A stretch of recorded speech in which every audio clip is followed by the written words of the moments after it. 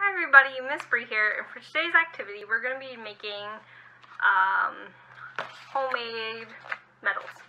So what you'll need is either paper or a paper plate, uh, some sort of ribbon, I have the sparkly kind, uh, glue or tape, either one, scissors, and you can use markers, paint, or color pencils, anything that you can color with is perfect for this. So what you're going to do is either you or a parent or guardian is going to cut out a smaller circle from the paper or paper plate. And it does not have to be a perfect circle.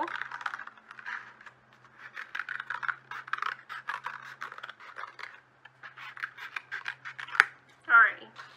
So after you have your circle cut out, you are going to take some ribbon and you're going to cut about, mm, let's say, two and a half to three feet, roughly.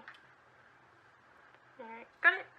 And to make sure you have enough, you're going to wrap it around your neck, and if it hits right about the center of your chest, that means it should be able to go easily off your head and on around your neck.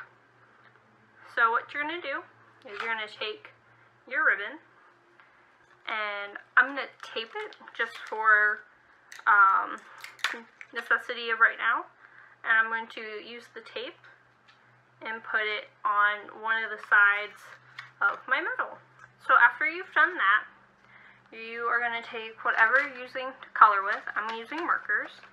And you don't have to use uh, the normal gold, silver, or a brown for bronze. Uh, you can do whatever color you want. But today I am going to be doing yellow for gold. So this is what mine looks like currently. I added a little bit of orange to my yellow so it would show up better for you guys. And after you're done with this, you can either write uh, one, two, three on it, or you can decorate it however you want. So I'm going to decorate mine and I'll show you what it looks like after.